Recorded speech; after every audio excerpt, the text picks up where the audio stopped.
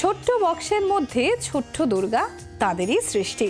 নদীয়ার ঘূর্ণির বাবা ছেলে নরোত্তম আর সত্যজিৎ এবার বানিয়ে ফেলেছেন আরও ছোট এক দুর্গা ঠাকুর। দু টাকার কয়েনেই বানিয়ে ফেলেছেন আস্ত দুর্গা ঠাকুর।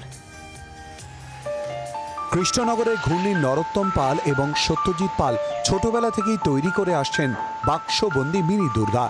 তাদের কাজের চাহিদা রয়েছে বেশ। কাউকে উপহার দেয়া বা বাড়িতে সাজিয়ে রাখতে মিনি দুর্গার জুড়ি মেলা ভার। এবারে তারা চমক দিলেন দু টাকার কয়েনের ওপরে দুর্গা গড়ে। চওড়ায় হচ্ছে আপনার দুই ইঞ্চির থেকে কম মানে চার সেন্টিমিটার। আর হাইট হচ্ছে আপনার দেড় ইঞ্চি। কয়েনের মধ্যে বানিয়েছি এটা দু টাকার কয়েন। এই যে দু টাকা। যে দু টাকা এটা বানিয়েছি। শখে বানিয়েছি কেউ যদি অর্ডার দেয় অবশ্যই বানিয়ে দেবো।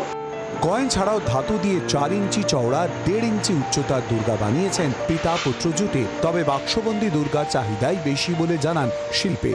চাহিদা আছে এবং এটা তো ধরেন আহ, পুজো পারপেসে পুজোর সময় বেশি সেল সিজনটা পুজোমুখী তো আমরা বারো মাসই কাজ করি।